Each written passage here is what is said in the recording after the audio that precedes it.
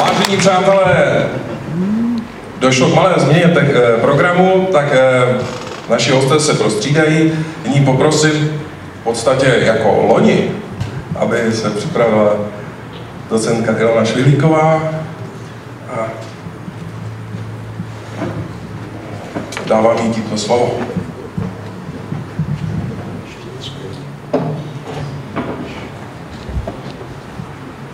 Takže dobrý den, já jsem ráda, že jsem tady po druhé mezi vámi a tentokrát je náplň mého povídání eh, nejen moje kniha, ale hlavně to téma, jak jsme se stali kolonií.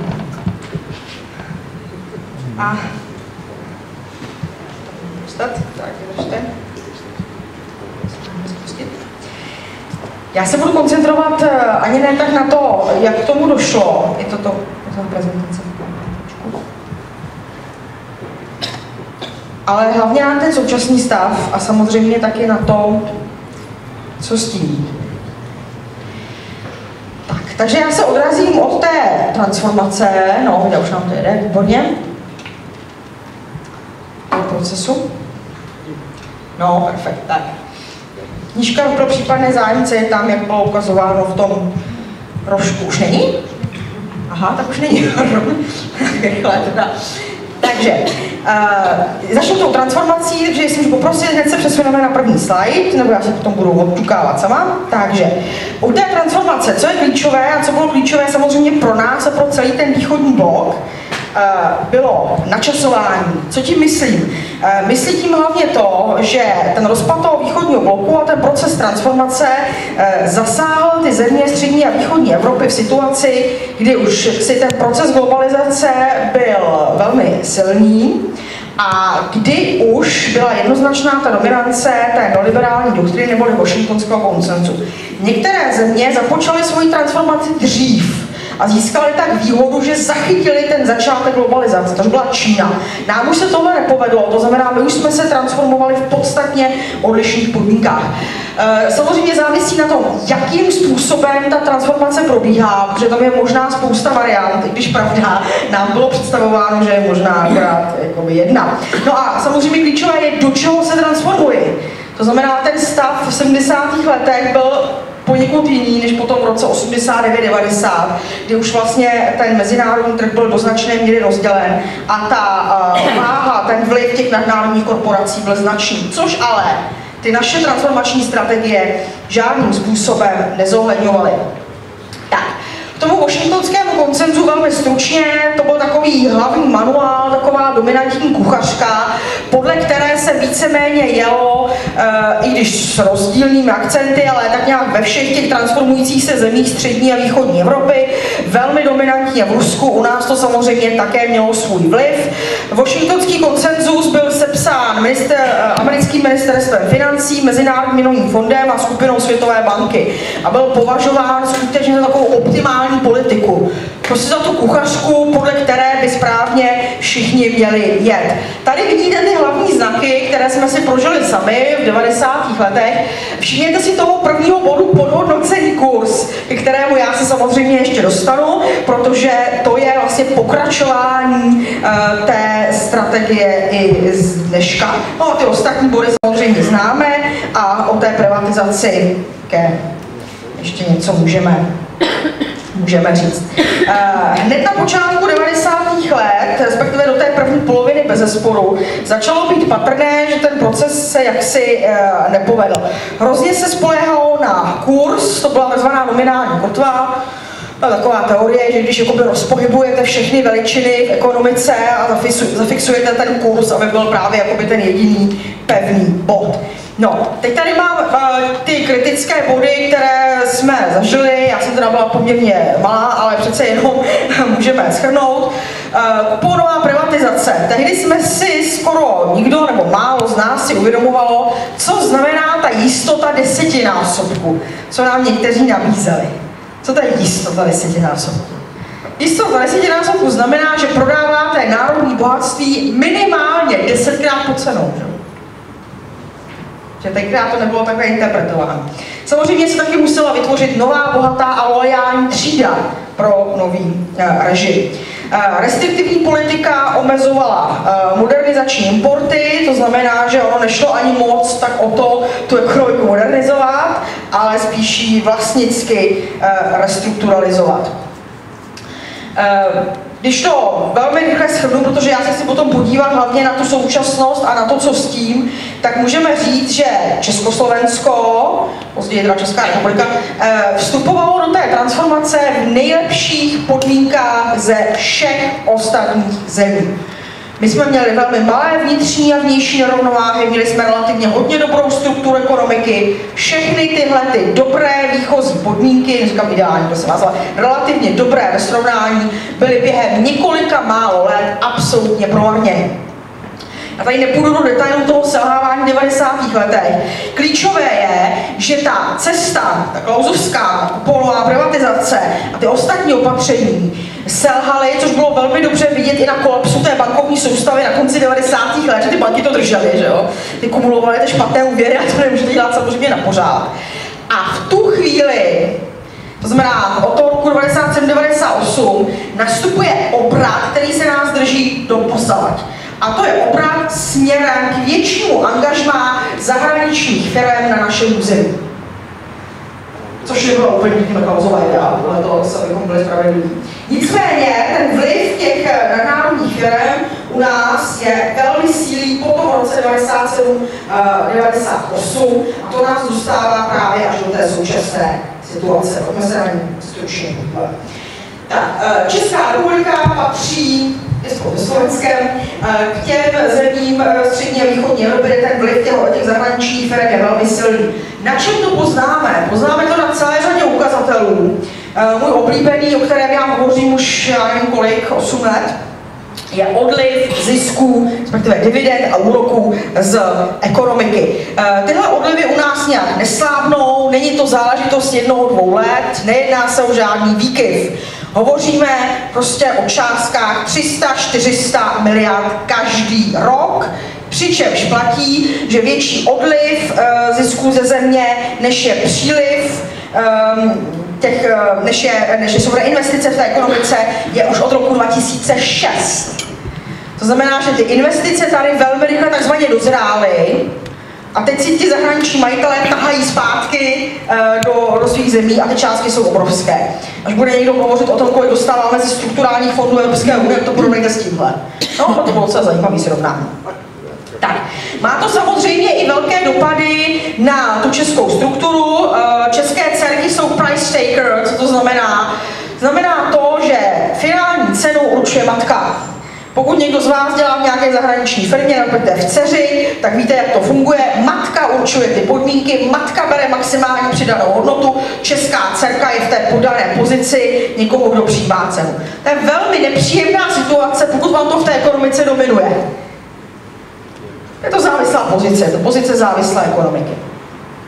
Tak, makroekonomicky viděno máme velký rozdíl mezi hrubým domácím produktem a hrubým národním důchodem. Já vás tady nechci děsit agregáty, řečeno jednoduše.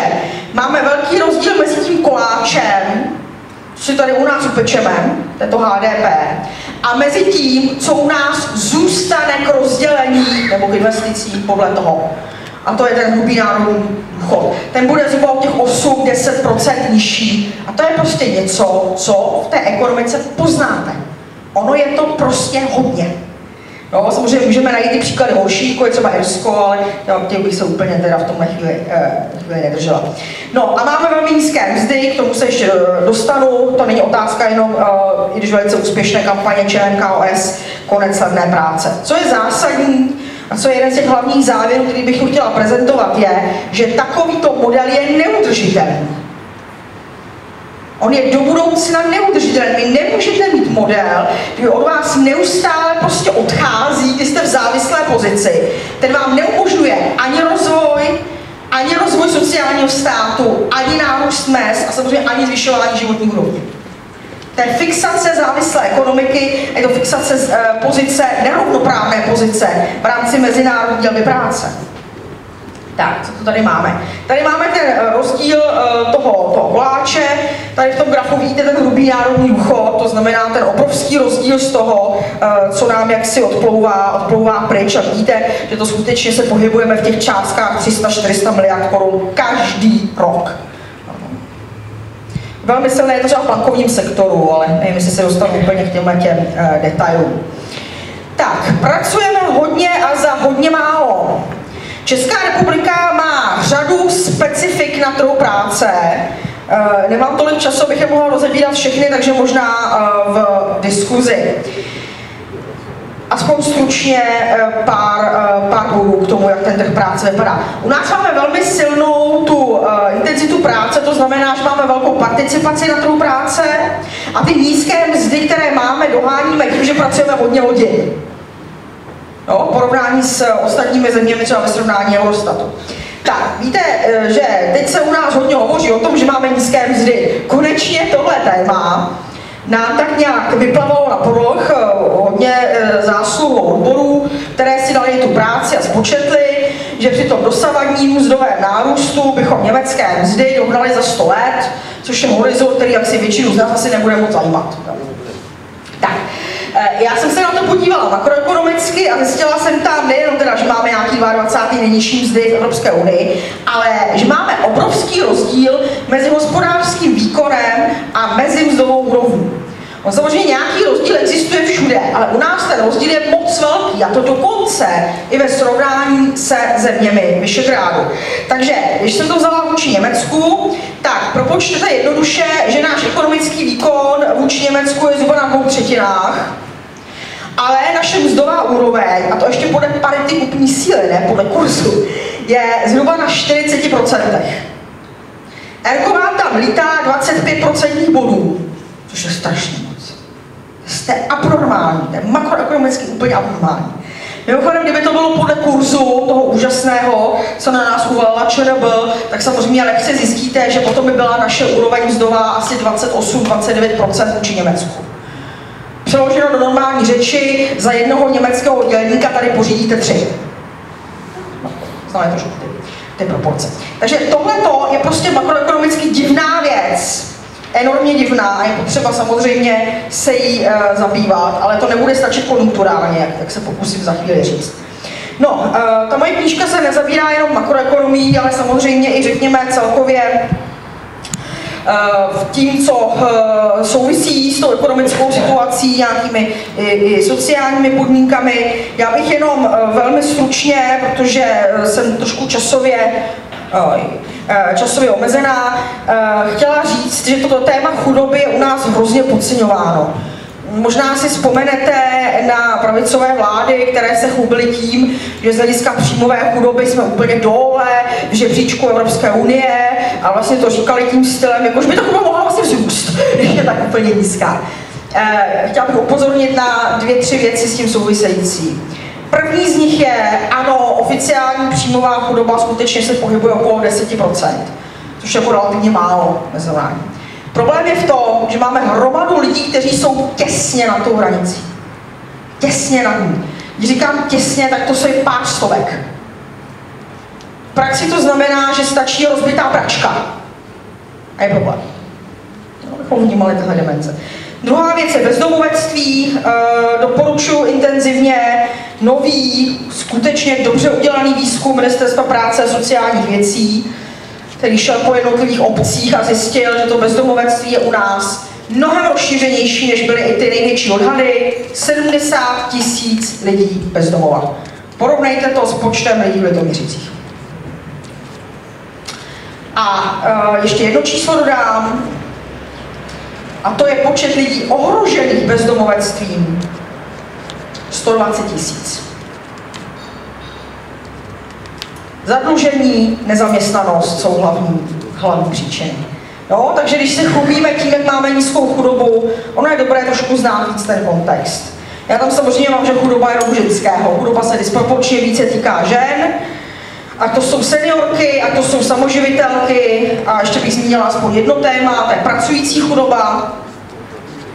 26% pracujících žen, více než čtvrtina žen, které pracují, jsou v sektoru pracující chudoby.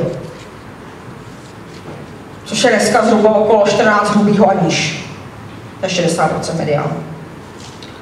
No, to je malou obchod a všechny tyhle ty další. Tak. Uh, nechala jsem to tady. Jo. Tak uh, samozřejmě kombinace těchto jevů a toho určitého strachu, který můžeme pořád té české společnosti pozorovat, nám vede k řadě patologických jevů v té rovině politické. Já o tom hovořím už dlouho, ale nejsou to věci, které se dají úplně snadno překonat. Chápeme se jako diváci politické hry a ne jako aktéři. Hledáme někoho, kdo to vyřeší za nás. Prezident, Brusel, Frau Merkel nebo kdokoliv jiný. My ne, my nejsme aktéři, hledáme někoho jiného. Eh, samozřejmě v těch 90. letech tím tlakem na ten značný individualismus se přetrhala hodně velká část těch sociálních vazeb, to znamená ten sociální kapitál, to, je mimochodem to nejdůležitější, abyste s tou společností něco udělali, tak eh, je tady pořád na úrovni, řekněme, nedostatečné. Řekl bych, že lepší než před nějakými 6-7 lety, ale stále poměrně nedostatečné. Doplním ještě pár aktuálních informací, abychom si udělali uh, aktuálnější obrázek. Tak já se budu věnovat uh, hlavně uh, kurzu. Jak víte, tak Česká národní banka nám drží kurz koruny už vlastně tři roky téměř na úrovni 27 korun za euro.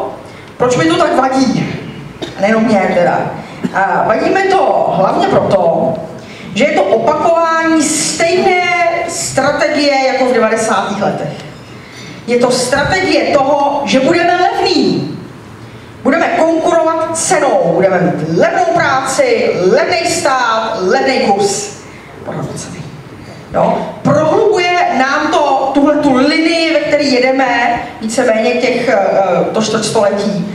A zároveň se nám ten kurz té ekonomice usazuje. To znamená, že spousta firm si na to zvyká, že 27 korun za euro, to je paráda, tam se do toho vejde každá neefektivní firma.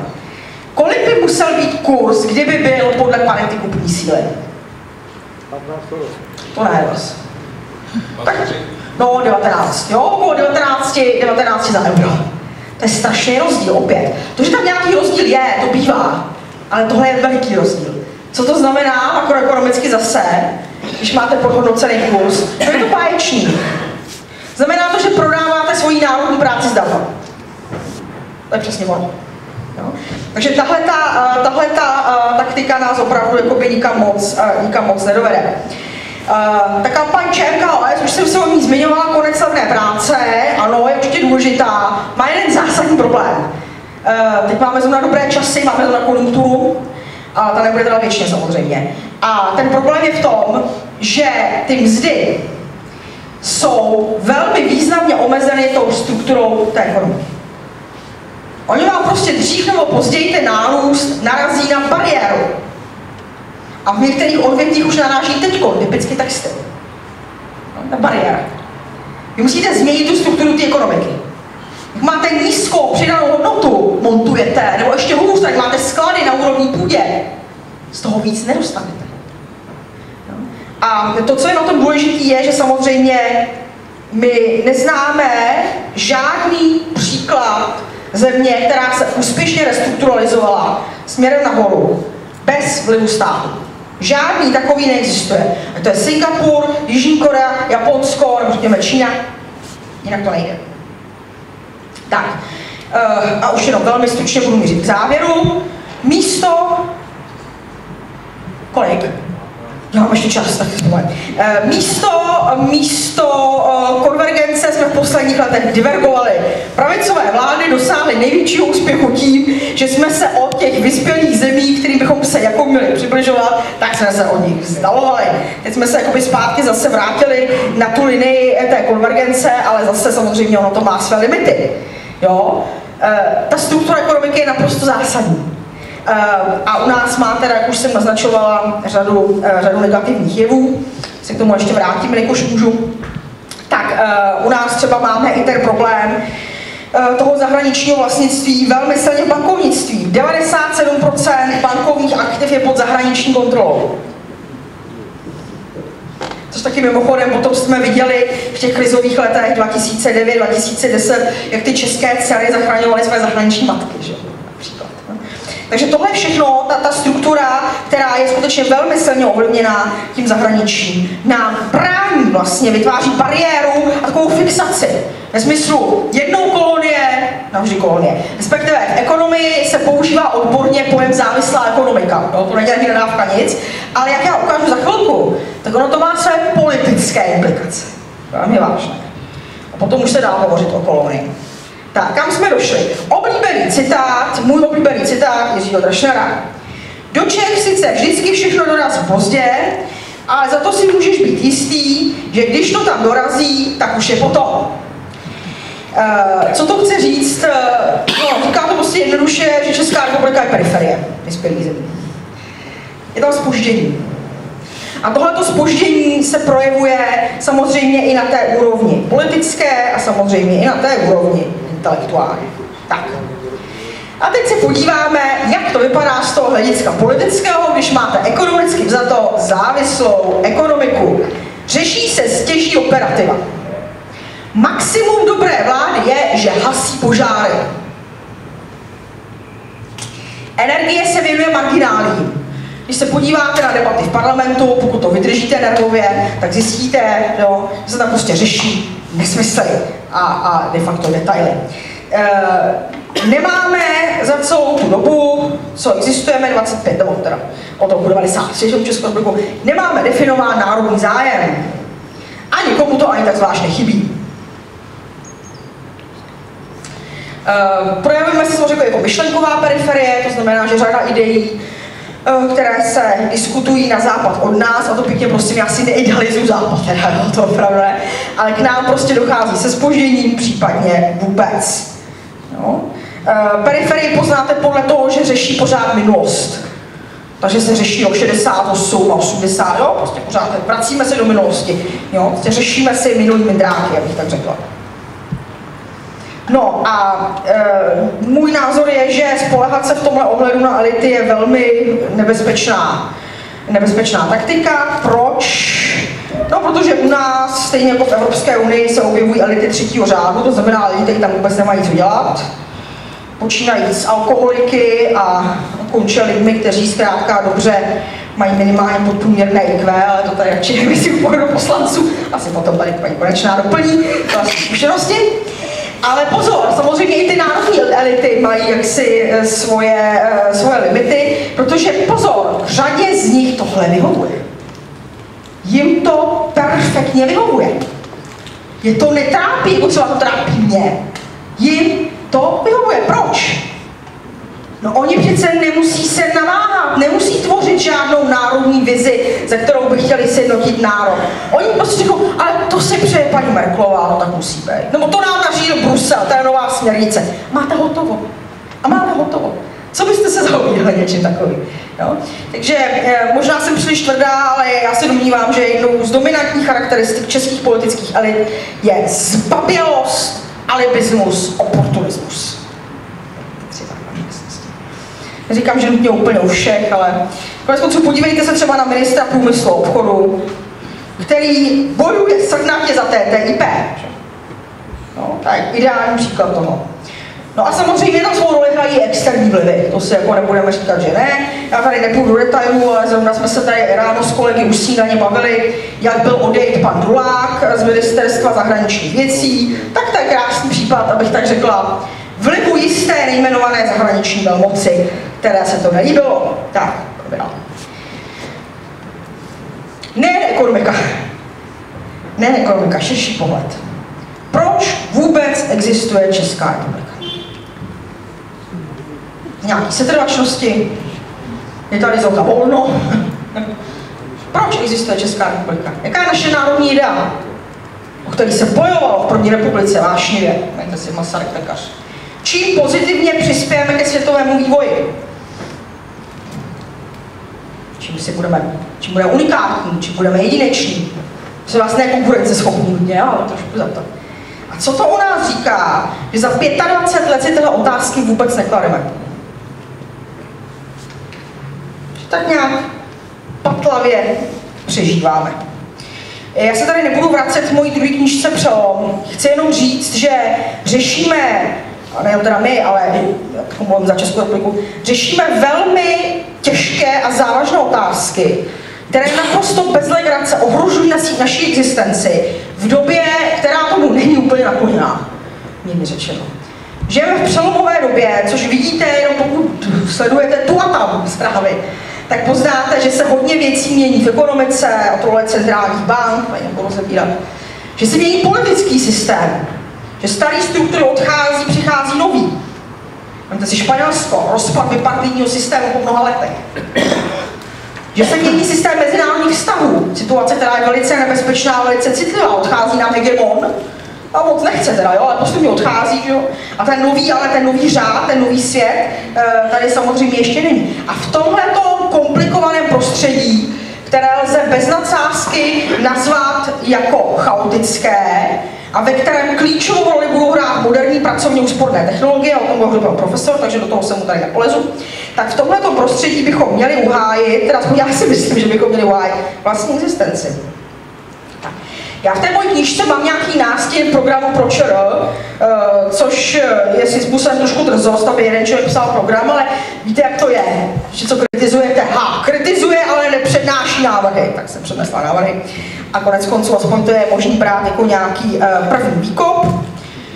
Eh, dobré je, že ta současná kampaň Konec levné práce tyhle ty otázky vlastně klade, no? protože uh, ty limity prostě toho našeho ekonomického modelu tam prostě jsou a bude s nimi potřeba něco udělat. A samozřejmě komplexně, vy nemůžete chtít měnit svoji strukturu ekonomiky, pokud tomu nebude odpovídat vaše uh, geopolitické, geopolitické zaměření, což já jsem se tady snažila aspoň pár bodů dát. No a mám tady ještě tohle. Tohle je riskantní už dneska někde psát, my se jako o tom bavili u snídaně, v určitých kruzích, kdy dneska řeknete slovo národ, tak na vás začnou řvát, že jste fašista, nacista a já nevím co všechno dalšího. Takže se zařadím do široké skupiny fašistů České republiky, protože pro mě národ je dominantní kategorie. A e, mám tady něco jako, no nevím si nové národní obrození, ale e, co tím chci říct? Tím říct, že ta změna z té závislé ekonomiky a z té politické periferie to není technokratická otázka. To se nedá udělat, že prostě někdo přijde, Švýková nebo kdokoliv jiný, to namaluje a pak si to ono samo začne dělat. To nejde. To absolutně a totálně spoléhá na tom, že ještě pořád v téhle zemi je pár lidí, kterým na ní záleží.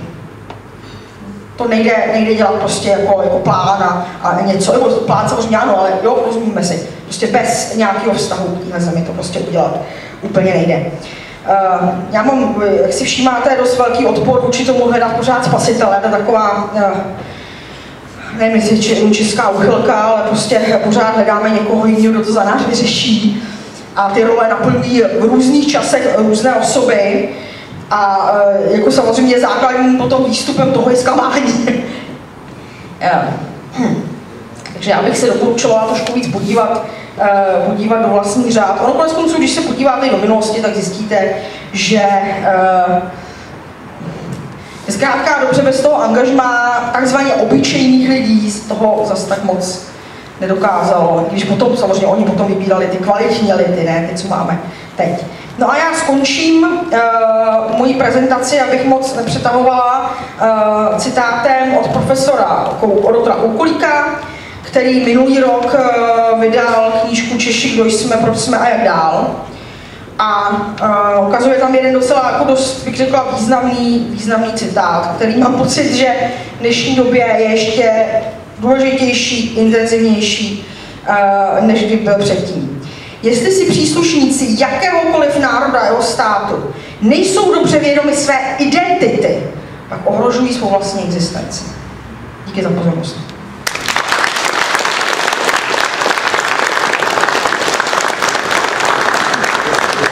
Děkuji docence Iloně Švihlíkové.